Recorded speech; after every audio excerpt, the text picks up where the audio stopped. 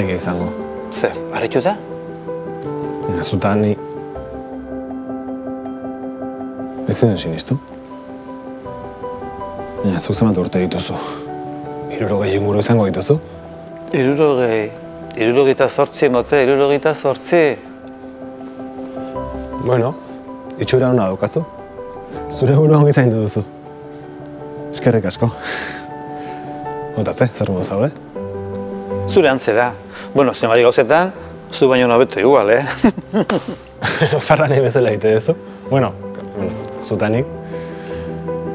Oain de repente galdera pila dauzkate egiteko.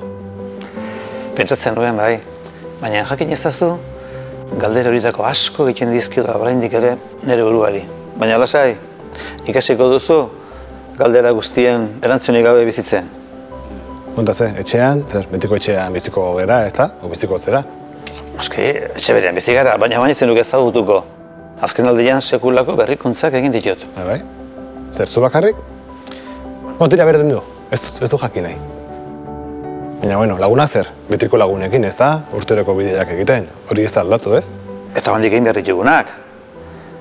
Hori ez da gausterik. Nola nahi ere, aholku bat emanen dizuke. Begira, bizitzan, zoriontasuna ez da helmuga. Bidea baizik. Eta zu gozatu bide horretan. Ulertu dut. Aizu, eta pirzinazte? Kendu egin diazu? Noski, aspaldi, eta jada ez duzu erretzen. Eta mendiko bilaldia juzu gustoko. Eta yoga egiten duzu. Hor bai, hor baduzu zarritxura bai. Badakigu luzaroago biziko garela. Horrexegatik dagoeneko ikertzen ari gara hobeto bizi ahal izan gaitezen. Adin berri, adineko pertsonen arreta integralerako eredu berritzaile bat.